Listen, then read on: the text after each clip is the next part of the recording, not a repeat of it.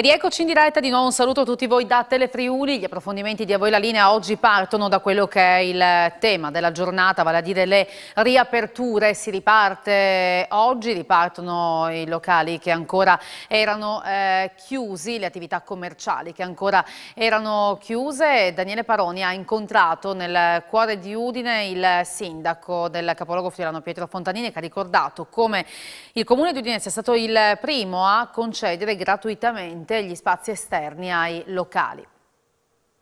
Il grande giorno è arrivato, allora Sindaco, eh, qualcuno sta già approfittando della possibilità di occupare qualche metro in più? Eh, finalmente il giorno è arrivato, le persone hanno ripreso la città in mano, io sono contento di vedere già oggi è lunedì, chiaramente qualcuno ha ancora un po' di timore magari di frequentare il centro della città, però alcuni commercianti hanno già capito che si può ampliare lo spazio del suolo pubblico, mettere più tavolini, permettere a più gente di poter sedersi e consumare eh, il cappuccino, la brioche, insomma le cose che si mangiano in queste occasioni. Senta, le regole cosa stabiliscono in questo momento? Voi avete dato la possibilità fino a ottobre? Fino a ottobre questi spazi resteranno, anche perché poi la stagione cambia, è chiaro che all'aperto è difficile continuare a operare. Fino a ottobre è gratis, non si paga niente, l'occupazione è solo pubblico, quindi tutti sono autorizzati a usufruire di questi spazi e questo permette eh, di aumentare il numero anche così dei posti a sedere, dei cosiddetti coperti, per permettere agli esercizi di poter operare economicamente. Per fortuna la distanza tra le persone è diminuita, adesso basta un metro e questo permette anche di non insomma, aumentare in maniera smisurata le superfici per poter aspettare un numero discreto di persone. Ecco, abbiamo visto che questo locale sporge già con alcuni tavolini, però ricordiamo che in piazza San Giacomo potrà eh, essere occupabile anche il plateatico. Sì, anche il plateatico, qui adesso aspettiamo i progetti che i vari eh, commercianti ci presenteranno e poi saranno autorizzati dopo anche l'ok della sovrintendenza a occupare il plateatico, quindi questa piazza avrà la possibilità veramente di aumentare in maniera molto alta i numeri delle persone che possono venire qui a consumare in pratica l'aperitivo, il caffè, la brioche, insomma questi prodotti. Senta, dopo queste, questi due mesi di chiusura forzata, Udine ha cambiato volto o no? Ma un po' l'ha cambiato perché questa zona ad esempio è interdetta alle macchine, quindi non si può entrare in nessun modo, così anche altre zone della città, del centro storico, sono precluse alla viabilità, in questo modo aumentiamo in maniera molto significativa gli spazi pedonali e questo cambia il volto un po' della città. Io spero che questo premi eh, soprattutto eh, la voglia di tornare in città, a consumare, a fare shopping, perché un'altra sfida importante oltre alle attività del bar e ristorazione è quella dei negozi. I negozi sono un momento difficile, non facile, io spero che i cittadini tornino in città ad acquistare perché tante attività commerciali operano nella città e vogliono avere in pratica quell'afflusso di clientela fondamentale per far sì che il business insomma, vada avanti. Senta, una domanda che ho rivolto anche al Presidente della Camera di Commercio di Udine Pordenone da Pozzo. Quei cartelli quei, eh, eh, disegnati dai bambini andrà tutto bene, possiamo dire che andrà tutto bene Fontanini? andrà tutto bene fino a un certo punto, l'ottimismo è sempre una cosa positiva, però qualcuno purtroppo non riuscirà ad aprire o quando aprirà magari non riuscirà a dare continuità alla propria attività commerciale perché purtroppo la crisi è pesante e soprattutto penso che questi mesi di chiusura abbiano un po' condizionato alcune attività, però spero, anzi sono certo che la maggioranza delle attività commerciali della città riprenderanno e il risultato sarà positivo. Io spero, mi diceva prima un commerciante, che Udine torni a essere quel grande supermercato, ipermercato che è sempre stato e che fa parte della storia di questa città. Bene, io ringrazio il sindaco di Udine Pietro Fontanini eh, con la collaborazione tecnica di Gian Domenico Ricci, eh, a voi la linea. E allora grazie a Daniele Paroni, da Udine ci spostiamo a Pordenone, anche lì area di, riparte area di ripartenza, eh, il gusto di un eh, caffè al bar e baristi con il metro alla mano. Anche Pordenone ritorna pian piano alla normalità con l'apertura oggi dei bar, dei ristoranti, ma anche delle parrucchiere, degli estetisti e dei negozi di abbigliamento. In centro c'è parecchia gente, c'è voglia di tornare alla normalità. Allora abbiamo fatto un giro nei negozi che riaprono nella Pordenone, che torna finalmente a rivedere la luce del sole. Un buon caffè al bar di nuovo finalmente. La soddisfazione più bella, guardi, di prendere il caffè con la brioche finalmente e di non aver paura che nessuno ci guardi. Ecco, questa è una bella soddisfazione. Dai, adesso speriamo che tutti quanti mettano un po' di giudizio e che riusciamo a saltarne fuori. Ci siamo, dopo nove settimane di chiusura, oggi si riprende, abbiamo anche una bella giornata, quindi il tempo ci viene anche incontro. Come prima mattinata sono le prime due o tre ore di lavoro, devo dire che ho visto anche un po' di gente che è venuta a salutare, è venuta a vedere il locale, abbiamo rifatto il locale nuovo e abbiamo approfittato anche di questo tempo di chiusura per sanificare, per pulire, igienizzare. Diciamo che ripartiamo, ripartiamo da zero da oggi. Quello che magari io chiedo è anche adesso la clientela, gli amici, mi raccomando, bisogna riprendere la vita, la vita di prima, piano piano, sarà sicuramente lungo e un po' faticosa, ma dobbiamo comunque ritornare alla nostra normalità e alla nostra convivialità. Certo è che siamo partiti con mascherine, siamo partiti con delle regole che per fortuna si sono un po' alleggerite rispetto alla, ai primi sentori della scorsa settimana, diciamo come riferimento avevamo le indicazioni dell'INAL che erano un po' troppo restrittive e sarebbe stato praticamente impossibile aprire per chiunque. Così insomma ci siamo un po' più adattati alla, alla realtà anche dei locali, in questa maniera si riesce anche a lavorare. E si riparte soprattutto un metro alla mano. Assolutamente sì, abbiamo già segnato sul bancone, si segnerà a terra, poi ognuno con il proprio layout sistemerà la situazione che meglio crede. È chiaro che mascherina addosso, gel igienizzante deve essere sicuramente presente all'ingresso, sul banco, in prossimità dei bagni. Seguiamo queste poche indicazioni e sicuramente riusciremo a passare anche questa. Poi sta a noi imprenditori insomma, cercare di farci coraggio, essere tutti uniti e cercare di andare avanti. I bar hanno riaperto tutti, stanno riaprendo tutti o c'è anche qualcuno che nel frattempo ha dovuto abbassare le serrande e probabilmente non riaprirà più? Eh, questo attendiamo i prossimi giorni, sicuramente non tutti hanno riaperto oggi, un po' anche perché i decreti sono stati firmati in tarda serata di ieri, quindi magari qualcuno oggi ha fatto una giornata di, di attesa per capire un po' meglio come fare. Sicuramente i nostri uffici oggi sono, sono con i telefoni caldi perché ci sono un sacco di domande, ci sono un sacco di situazioni da sistemare e da limare però ripeto, due o tre giorni ci mettiamo sicuramente in carreggiata e dopodiché cerchiamo di andare avanti. Meno clienti naturalmente dentro perché la distanza va mantenuta, all'esterno invece ci si può un pochino ampliare di più anche grazie insomma, al Comune. Sì, all'interno ad esempio per quanto ci riguarda abbiamo perso, perso, circa un terzo dei tavoli, sia nella saletta di là che in sala di qua abbiamo tolto il 30% dei tavoli. All'esterno non perderemo posti a sedere o tavoli perché anche grazie all'amministrazione comunale che ha semplificato le richieste di autorizzazione per aumentare il plate attico, quindi ci permettono di allargarci senza oltretutto avere spese supplementari che in questo momento sarebbero pesate e gravate su di noi, riusciamo a sistemare i tavoli un metro uno dall'altro, o meglio, le sedute un metro uno dall'altro, in modo che sia non il tavolo ma la seduta e la persona devono essere un metro uno dall'altro, metro alla mano insomma. Com'è tornare al bar, sedersi, poter bere un caffè? Rivivere, rivivere. Indice di ripresa, speriamo. Mamma mia, ma l'aspettavamo da tanto tempo, eh, Il sacrificio è già durato parecchio. Sì, sì, oggi partiamo, siamo pronti, stiamo aspettando adesso l'ultima sanificazione dei locali e, e dopo insomma, ecco, ricominceremo ad accogliere con le dovute distanze tutti. C'è molta ci sono molte chiamate, il telefono squilla da, da due o tre giorni, siamo, siamo positivi. Ecco, per quanto riguarda l'occupazione del suolo pubblico, voi che avete qui i tavolini all'esterno, come pensate di organizzarvi su questo? Ma guardi, adesso noi l'idea come i miei soci è di, di partire, no? di, di, mantenere comunque sempre le distanze come da normativa e di, di vedere i primi giorni come, come l'evoluzione. Ci sarà un'evoluzione continua, quindi intanto faremo questi primi 4-5 giorni e dopo vedremo come, come andrà avanti. Diciamo che l'amministrazione eh, con, con, la normativa che ha fatto insomma, ecco, ci ha dato la possibilità di ampliare ampliarci quindi, eh, e anche di non pagare soprattutto il solo pubblico che è una cosa insomma, eh, importante in questo momento dove le aziende hanno perso tantissimo. Quindi eh, la, la, voglia è quella di ritornare subito in, eh, in moto e, e, di, e, di, richiamare più ragazzi possibili, quindi ne abbiamo tanti, alcuni sono rimasti in cassa e speriamo nel giro del, di, di pochi giorni di poterli richiamare tutti. Ci si augura che tornino i clienti affezionati e speriamo bene.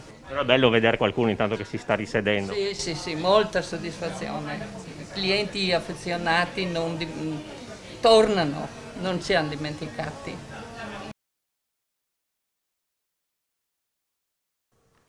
E dunque per attività che ripartono, altre che però purtroppo si fermano. Stiamo parlando dei concerti perché FVG Music Live ha comunicato oggi che sono stati annullati i concerti di Tiziano Ferro e Cesare Cremonini che si sarebbero dovuti tenere a Lignano Sabbiadoro quest'estate, in particolare il 21 giugno e il 30 maggio sono stati posticipati così come gli interi tour dei due artisti al 2021. I biglietti saranno validi quelli già acquistati appunto anche per la prossima data. Le vendite sono momentaneamente sospese invece per i biglietti ancora invenduti e verranno comunicate presto le modalità per partecipare appunto ai concerti dell'estate a questo punto del prossimo anno. Noi ci fermiamo per una piccola pausa pubblicitaria, torniamo tra pochissimo insieme.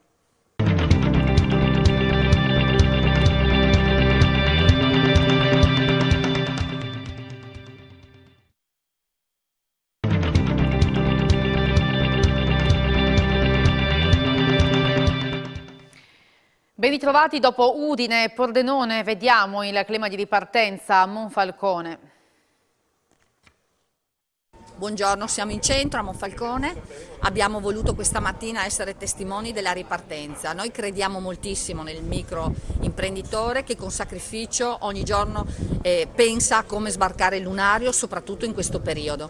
Abbiamo voluto essere non solo testimoni ma anche attivamente eh, partecipi di questa ripartenza. Abbiamo messo a disposizione su tutto il territorio comunale le aree affinché ci sia la possibilità, nel rispetto del distanziamento sociale, di poter frequentare un bar, una trattoria, un ristorante, una pizzeria nel eh, limite eh, appunto delle distanze ma con la possibilità di una redditività che consenta la copertura dei costi che altrimenti ciò non potrebbe avvenire. Abbiamo anche comunicato i 300 mila euro di contributi che abbiamo messo a disposizione per i microimprenditori al fine di poter adeguare le loro attrezzature, i dispositivi, tutto ciò che serve per poter ripartire. È una realtà frizzante, noi percepiamo la voglia di fare, siamo tutti coloro che hanno voglia di lavorare, questa è l'Italia che amiamo, l'Italia che si impegna, l'Italia che fa i sacrifici, che offre posti di lavoro e noi seriamente e in maniera fattiva quest'anno abbiamo lavorato affinché ciò accadesse a Monfalcone. Oggi il messaggio anche di questa maglietta che eh, vuole dire venite a comprare in Friuli, state in Friuli Venezia Giulia, comprate a Monfalcone è un messaggio, poi concretamente abbiamo fatto anche le azioni. Un caffè per ripartire, per raccontarci la ripartenza di Gorizia anche per il eh, sindaco del capoluogo isontino Ziberna. Oh, innanzitutto, ah, questo è simbolicamente, anche perché non so quanto si, sono a, a distanza di sicurezza, si sente un pochino meglio? Un po' così, ecco, cioè, il piacere, un, un, lunedì che generalmente a Gorizia è una, il primo giorno della settimana è una giornata morta, generalmente, una mattinata morta, abbiamo la città, magari dopo faremo anche una videata intorno, una città piena zeppa di gente, gente che esce con i, con i, con gli animali, con i parenti, con gli amici, eh, con, eh, con, i bambini che stanno correndo in città. Ecco, è davvero l'inizio di un nuovo periodo, un nuovo periodo che non, non, non tornerà certamente come prima. Saremo eh, costretti per la nostra e per l'incolumità e per la salute degli altri, sono costretti a convivere con queste abitudini, perciò la distanza di sicurezza dovremo assolutamente continuare a rispettarla, le mascherine e i dispositivi di sicurezza assolutamente sì, però anche in questo modo ormai ci siamo già abituati a rioccupare gli spazi nostri, cominciare perciò a frequentare i bar, i ristoranti, frequentare il commercio goriziano, invitare coloro che non abitano a Gorizia a consumare a Gorizia e ovviamente anche i goriziani a consumare a Gorizia. Non poteva che essere eh, migliore di oggi, il, il, tempo clemente, questa bellissima giornata di sole ha indotto le, le persone a uscire, perciò consideriamo questa giornata come la prima giornata di tante altre giornate, come città assicuriamo, come giunta, come maggioranza tante altre iniziative, ma anche luoghi di aggregazione più ampi dove i cittadini potranno trovarsi in assoluta sicurezza. Vorremmo stupirvi con effetti speciali e lo faremo ed è per questo motivo che non, non svelo tutto ciò che la Giunta ha intenzione di realizzare nelle prossime settimane. E ritorniamo a Udine dove siamo partiti in questo viaggio ideale nel giorno delle riaperture per vedere come si è organizzato un barbiere. Senta, fra le cose che sono mancate di più in questi mesi di coronavirus, il taglio dei capelli. Esattamente, che ne vale della nostra salute psicofisica, nostra ma anche di quella dei clienti. Non è più solo il semplice taglio di capelli, ecco. È un piccolo gesto, una piccola routine che ci fa stare sempre bene, sempre a nostro agio, sia con noi ma anche e soprattutto con le altre persone. Adesso che si ritorna un po' alla normalità, diciamo, riapriamo con orari anche un po' più lunghi, un po' più estesi per venire incontro alle esigenze anche di sanificazione, quindi tra un cliente e l'altro, con tutto ciò che ne consegue, anche le mantelline monouso e tutte le cappe usa e getta e faremo per il momento solamente l'esecuzione dei capelli. Le barbe per via della mascherina le riprenderemo un po' più avanti. I ragazzi non è rimasto nessuno a casa, semplicemente ci alterniamo su turni, quindi lavoreranno due persone alla volta con due poltrone, anche se l'ambiente è molto ampio, si poteva magari anche fare forse anche uno, un cliente in più, ecco diciamo. Siamo passati da cinque postazioni a due, però per la salute di tutti continuiamo così finché sarà necessario. E vi portiamo idealmente all'aria aperta con un'anteprima in chiusura di questa puntata di A voi la linea, un'anteprima del documentario realizzato da Marco Virgilio e Ivo Pecile sulle fioriture che si sono succedute lo scorso anno nell'area verde della Carsiana, il meraviglioso giardino botanico del Carso che oggi riapre le porte al pubblico. Un filmato che è stato curato da Janus, Rogos Società Cooperativa e Regione Friuli Venezia Giulia e con questo ci salutiamo. Grazie Grazie per aver seguito voi la linea.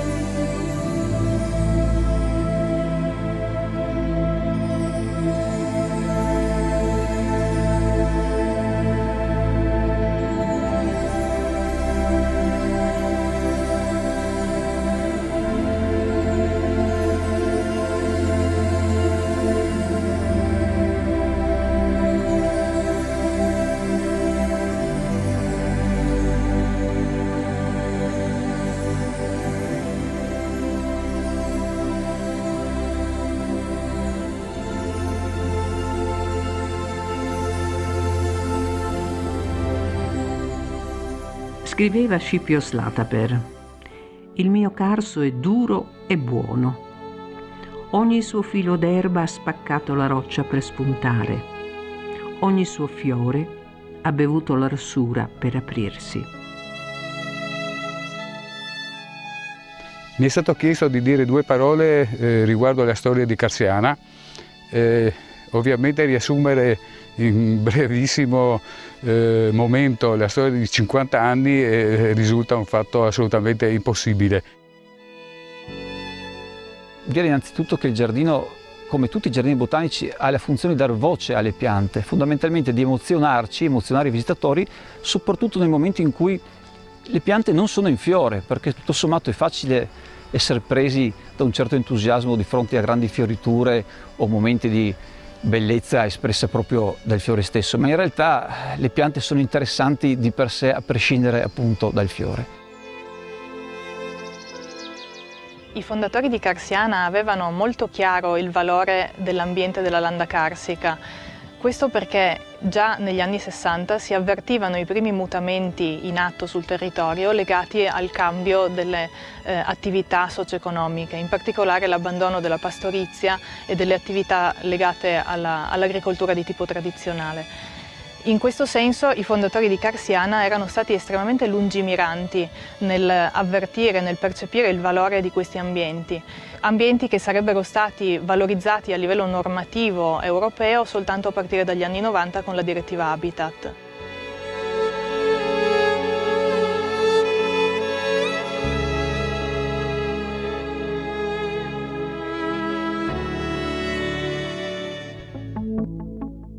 Il Giardino Botanico Carsiana si trova nel comune di Sgonico, a 18 km da Trieste, lungo la strada provinciale che collega il paese di Gabrovizza a quello di Sgonico. Il giardino fu ideato con l'obiettivo di raccogliere, conservare ed illustrare la flora e la vegetazione spontanee del Carso inserite in un contesto naturale. Esso si sviluppa infatti in una dolina in cui sono apprezzabili le principali conformazioni geomorfologiche del territorio carsico. Dalla landa alla boscaglia, dal bosco al carso montano, dalle rupi ai ghiaioni, il giardino ospita le principali formazioni vegetali del Carso, con 600 specie autoctone. Carsiana è quindi una perfetta sintesi del paesaggio carsico, che consegna al visitatore un quadro esaustivo dei principali aspetti ecologici di questo meraviglioso territorio.